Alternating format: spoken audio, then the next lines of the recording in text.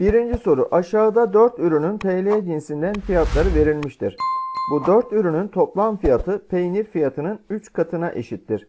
Buna göre ekmeğin fiyatının TL cinsinden cebirsel ifade olarak gösterimi aşağıdakilerden hangisidir? Önce peynir fiyatının 3 katını bulalım. Peynirleri 3 ile çarpalım. 3 kere 8 24x. 3 kere 20 burası da 60 olur. Şimdi bunların toplamı 24x artı 60'mış. İlk 3 tanesini toplayalım. Burada 8x, 5x daha 13, 6 daha 19x oldu. E, sayıları toplayalım. 25 artı 20, 45. Eksi 15'i çıkardığımızda artı 30 olur.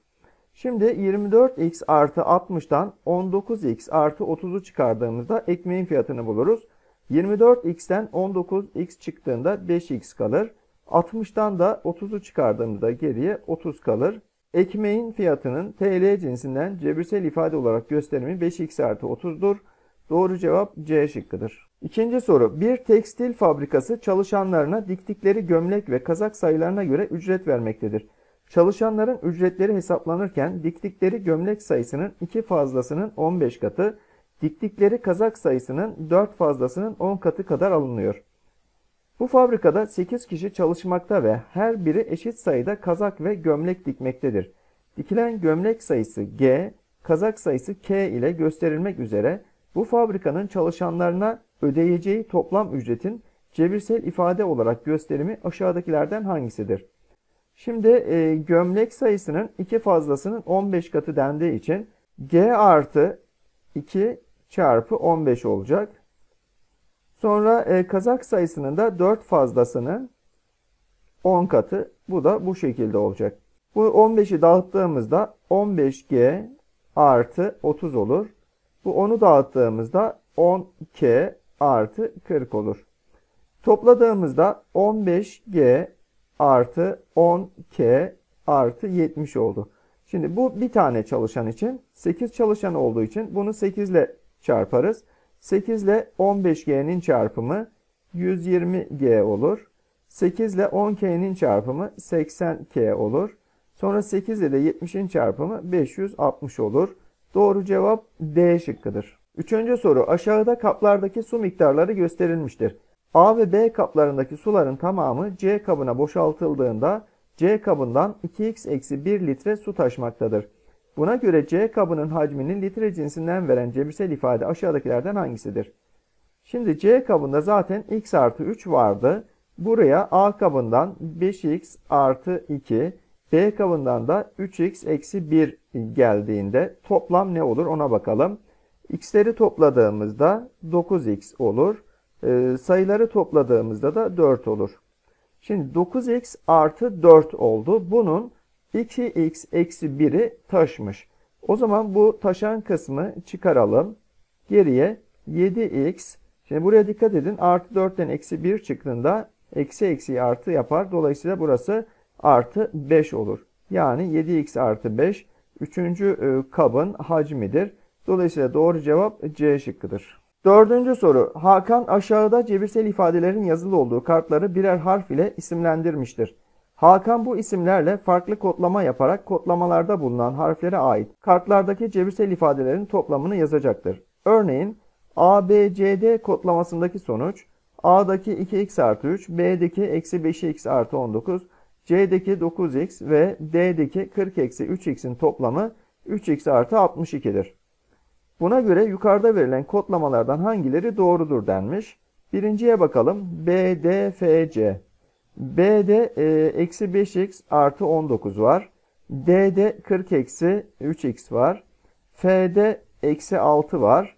E, C'de de 9x var. Şimdi bunları toplayalım. Önce x'leri toplayalım. Şimdi bu 9x. Eksi 5x daha artı 4x yapar. Burada da eksi 3x var. Dolayısıyla 1x olur. Sayıları toplayalım. Artı 19. Burada da 40 var. 59 yaptı. Burada da eksi 6 var. Ee, 59'dan eksi 6'yı çıkardığımızda artı 53 olur. Bakın birinci madde doğru çıktı. İkinci maddeye bakalım. A, E ve F'nin toplamı. Önce x'leri toplayalım. Burada 2x, 4x de burada 6x olur. Sayıları toplayalım. 3, eksi 25 daha, eksi 22, eksi 6 daha, eksi 28. Bakın bu da doğru çıktı. Üçüncü maddeye bakalım. A, C, D, E. A, C, D ve E'nin toplamı. X'leri toplayalım. Burada 2x var. 9x de burada 11x.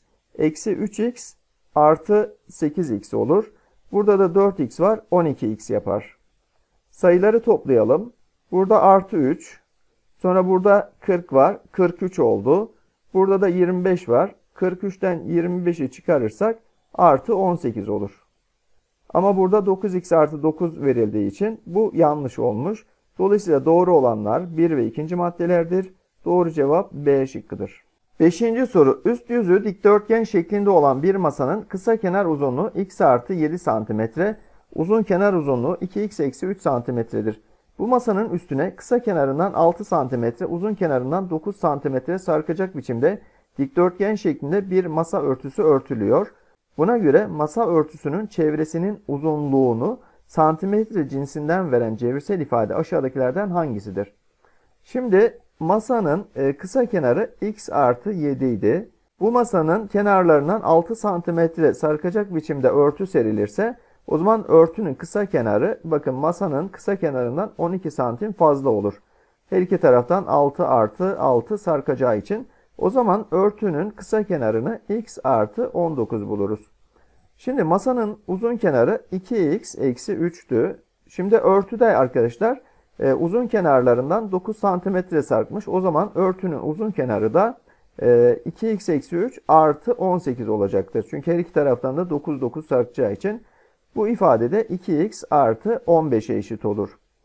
Şimdi bize masa örtüsünün çevresi sorulmuş. Dikdörtgenin çevresi bulunurken kısa kenarla uzun kenarı toplayıp 2 ile çarparız. Şimdi x artı 19'da 2x artı 15'i toplarsak 3x artı e, 34 olur. Bunu da 2 ile çarpıyorum. 2 kere 3x 6x. E, 2 kere 34 de 68 olur. Dolayısıyla doğru cevap B şıkkıdır. Altıncı soru. İlk 3 adımı verilen yukarıdaki örüntünün 20. adımındaki beyaz renkli kare sayısı siyah renkli kare sayısından kaç fazladır? Şimdi arkadaşlar beyaz renkli e, kare sayısı birinci adımda 4, ikinci adımda 7, üçüncü adımda 10 şeklinde gidiyor. Bunun kuralı şu şekildedir. Üçer üçer arttığı için 3n artı 1 şeklindedir. Beyazların e, kuralı bu şekilde. E, siyahlar ise e, şeyle aynı çıkıyor. Bakın 1, 2, 3, 4 şeklinde gidiyor. Yani bunun kuralı da n olmuş oluyor siyahların. Bu beyazların. Şimdi 20. adım sorulmuş. 20. adımda beyaz karelerin sayısı 3 kere 20 60 artı 1 61'dir.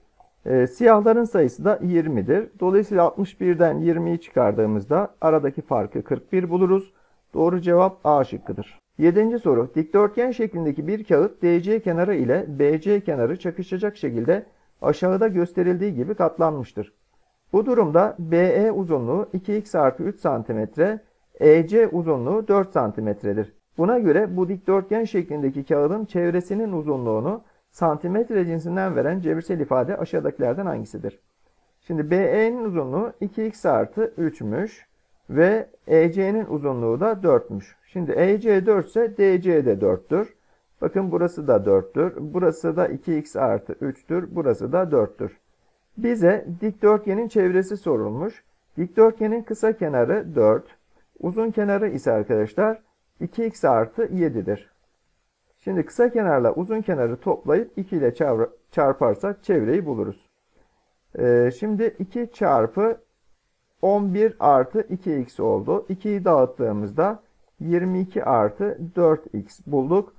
Doğru cevap D şıkkıdır. 8. soru. Aşağıda kibrit çöpleri kullanılarak oluşturulan bir örüntünün ilk 3 adımı verilmiştir.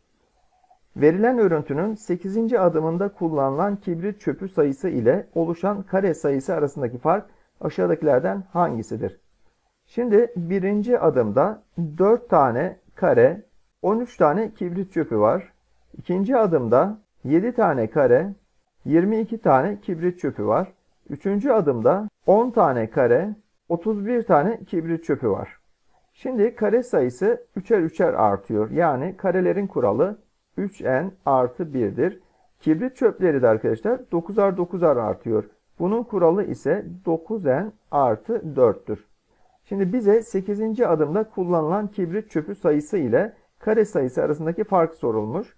Şimdi 8. adımda kaç kare oluşur onu bulalım. 3 kere 8 24 bir daha 25. Kibrit çöpü sayısı ise 8 kere 9 72 4 daha 76'dır. O zaman aradaki fark 76'dan 25'i çıkardığımızda 51 buluruz. Doğru cevap D şıkkıdır. 9. soru. Özdeş sarı bilyelerden bir tanesi birinci tartıda, özdeş mavi bilyelerden bir tanesi ikinci tartıda tartılıyor. Bu bilyelerin gram cinsinden kütlelerinin cebirsel ifadesi aşağıda gösterilmiştir. Buna göre bu bilyelerden 3 tanesinin kütlelerinin toplamını gram cinsinden veren cebirsel ifade aşağıdakilerden hangisi olamaz? Şimdi 3 tanesi sarı olmuş olsa bunu 3 ile çarpalım. O zaman 6x artı 3 bulabiliriz. Bakın A şıkkı olabilir. Şimdi e, mavilerden 3 tane olmuş olsa bu sefer 9x artı 6 buluruz. Bakın D şıkkı da olabilir. Şimdi 2 e, tane sarı bir tane mavi olmuş olsa sarıları 2 ile çarpalım. 4x artı 2 oldu. Bir tane de mavi ilave edelim. Topladığımızda 7x artı 4 olur. Ama bakın şıklarda 7x artı 4 yok. Peki şöyle yapalım. Ee, bir tane sarı, iki tane mavi olsun. Mavileri 2 ile çarpalım. 6x artı 4 oldu. Bir tane de sarı ilave edelim. 2x artı 1. Topladığımızda 8x artı 5 olur. Bakın C şıkkı da var. Olamayan 7x artı 3 yani B şıkkı. Doğru cevap B şıkkıdır. 10. soru. Ard arda dizilerek oluşturulan bir sırada Sude sıra numarasını cebirsel ifade olarak 3x artı 1 ve Görkem ise sıra numarasını 5x artı 6 olarak belirtmişlerdir. Buna göre Sude ile Görkem arasındaki kişi sayısını cebirsel olarak veren ifade aşağıdakilerden hangisidir? Evet bu ikisinin arasındaki fark olacaktır. 5x e, artı 6'dan 3x artı 1'i çıkaralım. Şimdi 5x artı 6 aynen yazılır. Şu eksiyi parantezin içerisine dağıttığımızda eksi 3x eksi 1 olur. 5x eksi 3x 2x olur. 6 eksi 1 de 5 olur. Dolayısıyla doğru cevap C şıkkıdır. 11. soru. Faruk dikdörtgen şeklindeki bir kağıdı şekildeki gibi önce 3 eş parçaya ayırıp sonra da yatay ve dikey olarak kenarları çakışacak şekilde çizgili yerlerden katlıyor. Son durumda oluşan dikdörtgenin kenar uzunluklarının santimetre cinsinden cebirsel ifadeleri x eksi 3 ve 2x artı 4'tür. Buna göre kağıdın katlanmadan önceki çevresinin uzunluğunu santimetre cinsinden veren cebirsel ifade aşağıdakilerden hangisidir? Şimdi burası bakın 2x artı 4 ise bunu 2 ile çarptığımızda şurayı buluruz. Burası 4x artı 8 olur. Yani şurası 4x artı 8. Şimdi burası x eksi 3 ya. Bunu 3 ile çarparsak şu kenarı bulmuş oluruz. 3x eksi 9 olur 3 ile çarptığımızda. Şimdi e, baştaki şeklin çevresi sorulmuş. Şimdi e, kısa kenarla uzun kenarı toplayıp 2 ile çarpalım. Şimdi parantez içini yaptığımızda 7x eksi 1 olur. Bunu da 2 ile çarptığımızda 14x eksi 2 buluruz. Doğru cevap D şıkkıdır. 12. soru. Aşağıda üçgen içerisinde yazılan ifadeler arasında yapılan işlemler gösterilmiştir. Buna göre işleminin sonucu aşağıdakilerden hangisine eşittir denmiş. Şimdi şöyle yapacağız. Bakın burada tarif edilmiş. Önce B ile C toplanacak. Yani 2x ile 3x artı 1'i toplayalım. Sonra da A'dan bunu çıkaralım. A x artı 5'ti. Şimdi parantez içini yaptığımızda 5x artı 1 olur. Önünde eksi var bakın. Şimdi eksiyi parantezin içerisine dağıttığımızda eksi 5x eksi 1 olur. Toplama işlemini yaptığımızda eksi 4x artı 4 buluruz. Doğru cevap B şıkkıdır.